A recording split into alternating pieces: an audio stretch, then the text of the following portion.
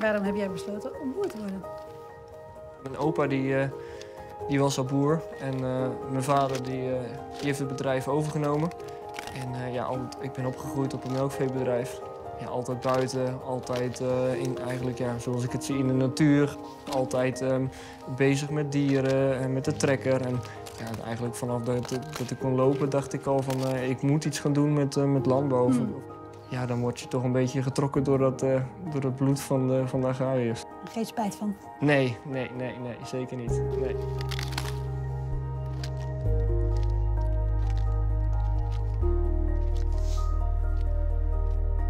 Oké, waarom besloot je om natuurbeschermer te worden? Ehm, ja, eigenlijk moet je vragen waarom heb ik besloten geen boer te worden? Want dat wilde ik eigenlijk worden. Oké. Ja, mijn opa die was eh, landbouwkundige, Mhm. maar we komen niet uit een boerenfamilie met land. En ehm, nou, dan wordt het al snel heel lastig in Nederland. Dus toen eh, ben ik overgegaan naar plan B en eh, ben ik biologie gaan studeren. En later inderdaad in natuurbescherming gaan werken. Maar je vader was landbouwkundige. ja. Dus die gaf les. eh, hij wist ontzettend veel, zowel over de natuur als over de landbouw. En ik keek ontzettend tegen hem op en ik dacht, zoals mijn opa is, wil ik ook worden.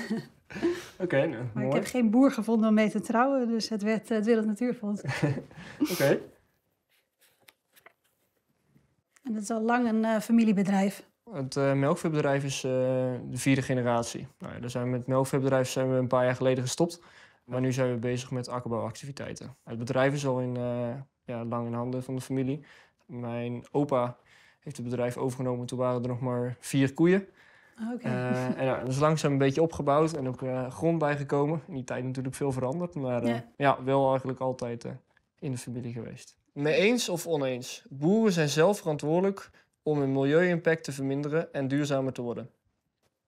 Want ik mag alleen eens of oneens zeggen. Ja, met nuance natuurlijk. Maar nu eerst eens of oneens. Ik ben het er deels mee eens dat ook de boeren daar een verantwoordelijkheid in hebben.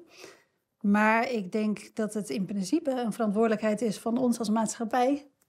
Dat wij zorgen dat eh, de voedsel die wij produceren niet ten koste gaat van eh, de leefomgeving en van natuur. En ik denk dat wij met die verantwoordelijkheid eh, moeten zorgen dat wij boeren in staat stellen om ook te zorgen dat die impact ehm, naar beneden gaat. Boeren zijn daar onderdeel van. Boeren zijn een onderdeel van de maatschappij hebben daar mede verantwoordelijkheid in. Maar er wordt denk ik soms te veel de nadruk gelegd op eh, dat boeren het allemaal maar op zouden moeten lossen. En daar ben ik het eh, pertinent niet mee eens.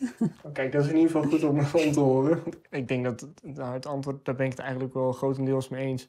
Ehm, we moeten ook als boer zijn altijd onze verantwoordelijkheid nemen. Ik denk ook dat we dat grotendeels doen. Want ja, we hebben ruimte in gebruik. En ehm, nou ja, daar hoort een bepaalde verantwoordelijkheid eh, eh, bij. Ik kan geen enkele boer oprecht opnoemen die niet bezig is om te kijken hoe die zijn bedrijf nog beter kan vormgeven en invullen. Dan denk ik van ja, volgens mij zijn we daar als sector al heel erg mee bezig. En ja, het kan altijd sneller en ja, het kan altijd beter. Maar we moeten ook altijd blijven kijken van wordt het betaald? Op, mij komt het over dat we binnen vijf jaar een compleet andere agrarische sector moeten hebben. En dat de sector zoals die er nu is totaal niet toekomstbestendig is. Maar dan denk ik, ja, dat is echt niet hoe ik het ervaar, maar ook niet hoe heel veel collega's van mij het ervaren. Want we zijn dag in dag uit op het land bezig om te kijken hoe we ons gewas zo gezond mogelijk kunnen krijgen en houden, zonder daar eh, iets voor nou ja, te hoeven gebruiken, voor hoeven te spuiten. Want ehm, soms wordt er wel eens gezegd, ja, een spuiting, ja, jullie mogen niet meer spuiten met bepaalde middelen. En waarom spuiten jullie nog? Dat is niet omdat we het leuk vinden om met een spuit over het land te rijden. Dat doen we om ons product gezond te houden en om zo min mogelijk uitval te krijgen. Want uitval, ja, dat is natuurlijk ook, ja, dat is ook niet goed. Want je wil ook niet een, een product waar je maandenlang mee bezig bent geweest op het laatst van het seizoen, nou ja, kwijtraken. Ja. Ehm, en we spuiten ook zeker nooit meer als dat we zouden moeten of, of dat nodig is.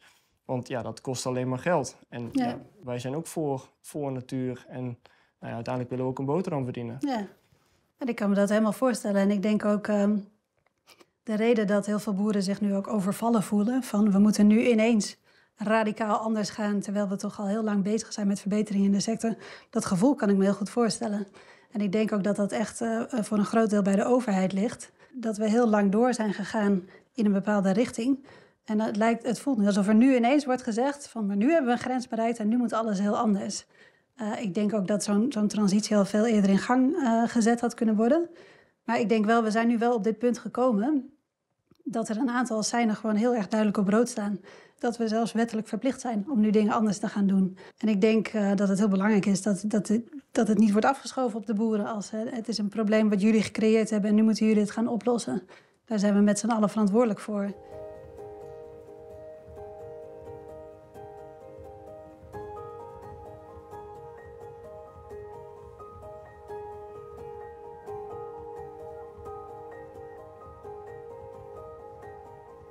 Ik ben ook benieuwd van hoe zij, wat zou voor jou nou iets zijn waarvan je zegt, ja, dat is een manier waarop ik nu verder kan of vooruit kan. Waar zou je mee geholpen zijn? Dat is een goede vraag. Die kreeg ik vorige week ook van iemand uh, uit de politiek. Die vroeg dezelfde vraag. Um, en ik denk dat daarin bij far op nummer één bij iedere boer staat: geef ons duidelijkheid. Ja. Geef kaders waarin wij onze investeringen kunnen doen, waarin we ons bedrijfsplan kunnen schrijven. Maar juist in die laatste afgelopen nou, 10, 20 jaar zijn er heel veel kaders niet geweest of in een, in een bepaalde richting geweest waar je gewoon op hebt geacteerd. Ja. En ja, waar je nu mee in de problemen komt en waar je ook niet zomaar van af kan stappen. Dus dat vind ik ook wel lastig. Er wordt dan gezegd van ja jongens, we moeten allemaal de stallen aanpassen, we moeten naar een ander systeem. Ja, maar we hebben, we hebben die stallen en we hebben dat bepaalde Nee. systeem geïnvesteerd in. En dat kun je niet in twee, drie jaar afschrijven. Nee. Daar zijn de marges niet groot genoeg voor. Of überhaupt is het bedrijf niet opgebouwd. Hetzelfde als ehm, dat de HEMA niet volgende week eh, op het water zijn winkels gaat plaatsen. Of een totaal andere productschap gaat verkopen. Dat gaat alleen met kleine stapjes kan gaan. En ik ben het helemaal met je eens dat het punt waar we nu op beland zijn. Maar ik denk dat we nu heel duidelijk op een ander punt staan eh, in de wereld. En eh, dat we echt op een kantelpunt zitten. Dus dat we echt moeten kijken naar waar sturen we op, op systeemniveau. En dat is natuurlijk altijd geweest een landbouw-economisch systeem dat gericht is op meer produceren, zoveel mogelijk produceren tegen zo laag mogelijke kosten. Maar in die prijs van ons voedsel zit niet doorberekend wat de effecten zijn van de productie van ons voedsel op de leefomgeving en op natuur. In Nederland zien we dat natuurlijk heel goed met de, met de stikstofcrisis. Dat we eigenlijk veel te lang gewacht hebben met sturend zijn. En dat we nu op een punt zitten dat we hele pijnlijke en grote maatregelen moeten nemen.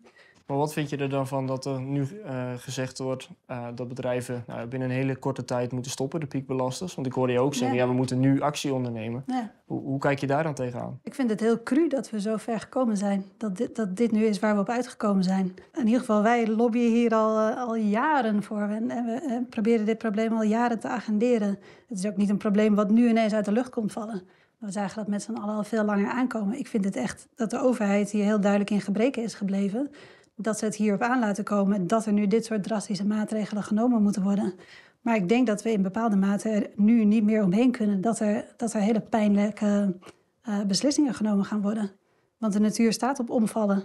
En we hebben daar met elkaar, eh, zijn we daar in Europa een verplichting aan gegaan. Dus ik denk dat we er op dit moment niet meer aan ontkomen dat er pijnlijke maatregelen genomen gaan worden. Maar ik blijf wel bij van, eh, het kan niet zo zijn dat een familiebedrijf, wat al jaren op een bepaalde manier boert, door de maatschappij, door de overheid, wie dan ook, of nou, ja, eigenlijk met z'n allen zijn we daar verantwoordelijk voor, dat dat binnen twee jaar zo patsboom eh teniet gedaan moet worden. Dat, ja, er zit zoveel leed achter Mm. bedrijven, zoveel passie voor het vak, passie voor dieren, voor, ehm, eh, voor de gewassen. Ja, ja dan, dan vraag ik me echt oprecht af, is dat het waard? Hmm. Om, om binnen twee jaar een bepaald stukje natuur te moeten redden. En aan de andere kant zoveel emotioneel leed eh, Ja. veroorzaken. Dat vind ik echt, echt een hele lastige. Dan snap ik heel erg goed waarom ik en andere collega's de straat op gaan. Want ja, er wordt gewoon veel te makkelijk over gepraat. Maar ook de manier waar, waar er over ons gesproken wordt en met ons gesproken wordt, vind ik dat ook aangepast Ja. eh, moet worden. Die pasmelders die hebben de- dus, dus het programma aanpak stikstof. Eh, er zijn bedrijven die nou, uit de goede trouw altijd gehandeld hebben, een vergunningaanvraag gedaan hebben, maar een, een afwijzing daarvoor gekregen hebben. Ze konden geen vergunning aanvragen. Eh, er is altijd gezegd, nou ja, jongens, jullie zijn op de goede weg. Jullie hebben de juiste papieren en jullie kunnen eh, bouwen. En nu zou het bedrijf binnen twee jaar gesloten moeten worden, ehm, omdat er geen vergunning is. En die bedrijven die zijn misschien al wel 50 jaar oud, nog voor een natuurgebied er was. En nu zouden ze dan moeten stoppen omdat er een fout is gemaakt in vergunningverlening. Ja. En ik denk dat het, het gebrek aan perspectief heel schrijnend is geweest. En dat het hoog tijd is ook om met elkaar te kijken van wat is dan het perspectief wat we zien. En Ja. hoe is dan de toekomst die we voor ons zien voor dit land. En wat ik ook heel mooi vond wat je zegt is, ehm, wat je heel duidelijk aangeeft, zo'n landbouwbedrijf, dat, ehm, dat functioneert niet in isolatie. Dat is niet een ding wat je even, waar je even van kunt zeggen van nou, dat gooien we nu helemaal om. Het is onderdeel van een systeem. En het systeem bepaalt ook de richting van zo'n bedrijf. En dat betekent dat de supermarkt hier een rol in hebben. Dat de consument hier een rol in heeft. Dat het is een heel systeem wat moet bewegen. Ja. Een heel systeem wat een nieuw perspectief moet gaan uh, bieden. Zodat het ook voor, voor boeren duidelijk wordt welke kant zij daarin uh, op kunnen bewegen. En daar hun eigen invulling aan kunnen geven. Dat ook niet wordt gezegd van bovenaf en je moet het nu zo gaan, uh, gaan aanpassen. Maar dit is waar we met elkaar naartoe willen werken. En laat het aan de boeren om te bepalen hoe zij daar dan invulling aan geven om in die richting te komen. Aan de andere kant denk ik ook, en dat zei je eigenlijk net in je antwoord ook al een beetje, uh, de maatschappij en de consument heeft daarin ook een hele grote uh, rol. Als de consument uh, een bepaald product vraagt en het past ook, we kunnen het ook produceren, dan zullen we dat ook gaan doen. Ja. Als dat een bepaalde markt voor is en als er voor betaald wordt. Als we meer biologisch willen, dan denk ik, weet ik 100% zeker dat er bedrijven zijn die daarin willen stappen. Ja. En die ook biologisch willen gaan produceren. Maar daar hangt een prijskaartje aan. En, en, en die discussie die moeten we meer gaan voeren. Wat Ja. is het ons waard in de supermarkt om bepaalde producten wel of niet te hebben? Willen we altijd de goedkoopste producten? Of willen we producten die passen bij onze maatschappelijke eisen, wensen? Dus ik zie eigenlijk een, een- de maatschappij en de consument altijd als twee, twee verschillende dingen. Je hebt een burger en je hebt een consument. Ja. Een burger wil van alles en een consument wil ook van alles, maar die, dat, dat strookt niet met elkaar. Ja. En ehm, ja, daar heb je als boer wel mee- te maken. Ja, en ik denk ook van hoe we het gesprek begonnen, van het economisch systeem, wat heel erg stuurt op, op vooral heel veel produceren en lage kosten. Als we met z'n allen erover eens zijn dat dat niet is waar we op moeten sturen, dat een, een boer, en helemaal in Nederland vanwege eh, de grote hoeveelheid land die door boeren beheerd wordt in Nederland, erkennen dat die een hele belangrijke rol hebben ook in hoe we ons landschap inrichten en de diensten die een boer levert naast eh, de productie van voedsel, dat we ook voor die andere maatschappelijke diensten moeten belonen. Ja, En dat betekent inderdaad dat ook de consument in de winkel ehm, daarvoor moet betalen. En dat de overheid eh, subsidies moet, beschikbaar moet bestellen. Niet alleen maar voor productie, maar juist ook voor vergroening. Ja. En dat ook een bank zijn leningen moet verstrekken en zijn rentetarieven misschien aanpast op basis van, ehm, van andere maatschappelijke diensten. En wat ook belangrijk is in mijn ogen vanuit ehm, ehm, de overheid, maar zeker ook de maatschappij in zijn totaliteit, breng ook een stukje realisme in. We kunnen niet alles veranderen in anderhalf jaar. Hoe graag we dat met z'n allen ook misschien willen, dat, dat, dat kan niet. Alles gaat altijd op, nou ja, op een bepaald tempo, op een bepaalde snelheid. Dat kunnen we soms wel even versnellen, soms ook wel eens iets vertragen. Ja. Maar eh, het moet wel reëel blijven wat we met z'n allen doen. Anders raak je aan de ene kant de boeren kwijt in het verder verduurzamen van de bedrijven. En anderzijds misschien de consumenten, omdat je met bedrijven bezig bent die zulke hoge kosten maken dat het, de consument het niet meer wil betalen. Ja, Dus ik denk dat dat het allerbelangrijkste is. Perspectief en realiteit. ja dat lijkt me een mooie combinatie.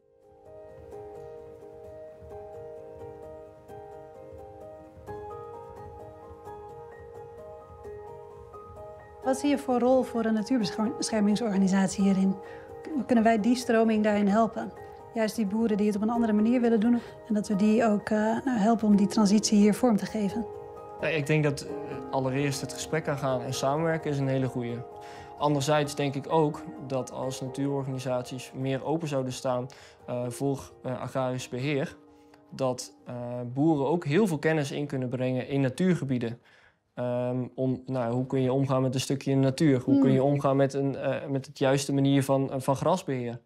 Ehm, en ik denk dat als je daar nog verder het gesprek over aangaat, dat, dat dat erg zou helpen. Ja, de basis is landbouw natuurlijk gewoon natuurlijke processen. Ja.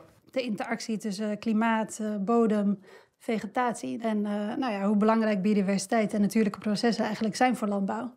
En aan de andere kant, als je natuur wil beschermen en herstellen, dan kun je ook niet om de landbouw heen. Ja, Dus voor mij is dat eigenlijk, eh, ja, het ligt heel dicht bij elkaar. En dat zie ik eigenlijk elke dag in mijn werk. Ja, het is echt een, eigenlijk gewoon een wisselwerking natuurlijk. Want het, is een beetje een samenwerking Ja. natuurlijk. En dat die eh, twee elkaar ook kunnen versterken. En ook de sectoren kunnen elkaar ook versterken. En hele mooie voorbeelden die je noemt inderdaad.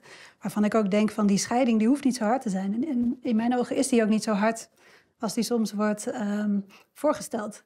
En ik denk dat dat de juweeltjes ook zijn die we met elkaar ook voor het voetlicht moeten brengen. Zodat het debat niet gedomineerd wordt door wat er allemaal niet goed gaat. Maar ook laten zien hoe het, hoe het wel kan Ja. en hoe het anders kan. En ja, wat ik ook wel denk, wat heel belangrijk is voor de toekomst toe, dat we ehm, eh, elkaar ook het vertrouwen geven, ook natuurorganisaties richting boeren, dat boeren het ook ehm, altijd zullen doen vanuit een, nou ja, eh, het perspectief, we doen het zo goed mogelijk en zo duurzaam Ja. eh, mogelijk. En tuurlijk, er zijn altijd voorbeelden, maar dat is in elke sector waar het beter kan en waar misschien niet de goede dingen Ja. zijn gedaan. Maar dat hou je overal. Dat hou je ook in natuurbeheer, dat hou je bij vliegvelden, dat maakt niet uit.